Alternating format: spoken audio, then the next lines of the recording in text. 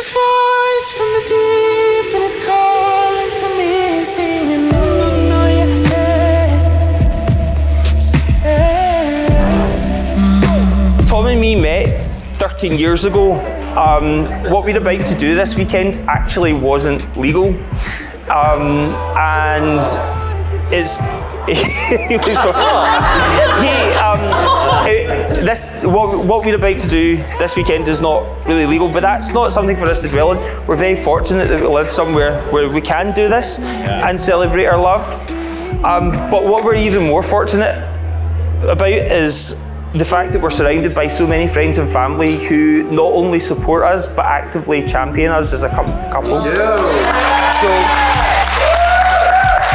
when, when, when we considered getting married and planning our wedding, we never ever really wanted to have a huge wedding. It was always about having a celebration with the people who have meant the most to us along the journey of life. And every single person that is here tonight is here because you all have meant something really important to us.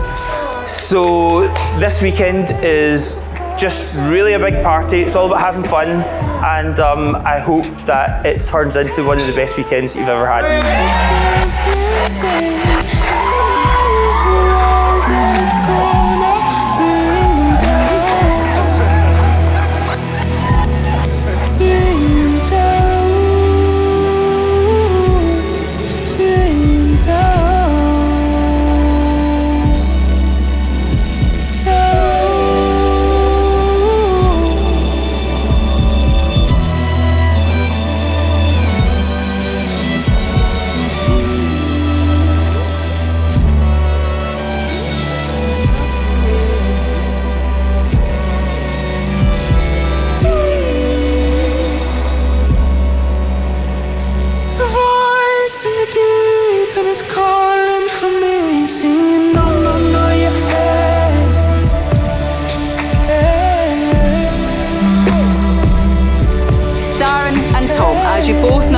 A solemn and binding contract by virtue of these declarations made in my presence and in the presence of your witnesses and guests. It is great pleasure that I declare you married. Congratulations.